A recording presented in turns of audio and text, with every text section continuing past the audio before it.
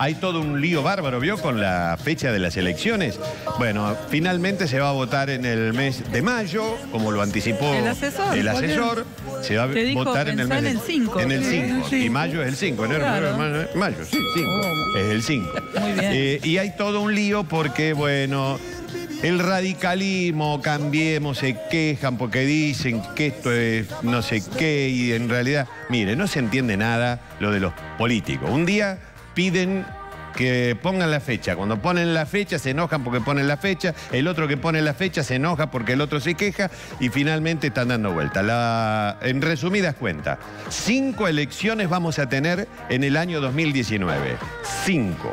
La primera va a ser para gobernador, que va a ser en mayo. No sabremos, no sabemos cuándo se va a elegir intendente, pero sí sabemos cuándo van a ser las presidenciales y las paso. En total, si no se unifica la de intendente con alguna de las que queda o de las que está, en total tendremos cinco elecciones reunidas ahí más o menos en siete meses. Imagínese usted cómo va a quedar y cómo va a andar este país. Descontando que habrá balotaje. Exactamente. El, balotaje. argumento, el argumento central de Schiaretti es precisamente ese. Hay cinco elecciones.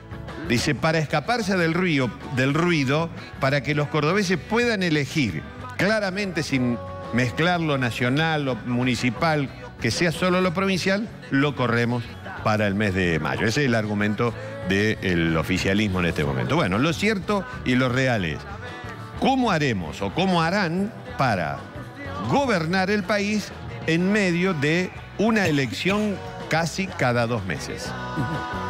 Va a estar bastante complicado el año que viene en materia electoral. Pero así está, así va a ser y eh, vamos a tener que ponerle el cuero y a elegir, y a elegir. Ya empezaron las encuestas, ya empezó todo eso que le vamos a dejar un tiempo nosotros para, para meternos ahí. Bueno,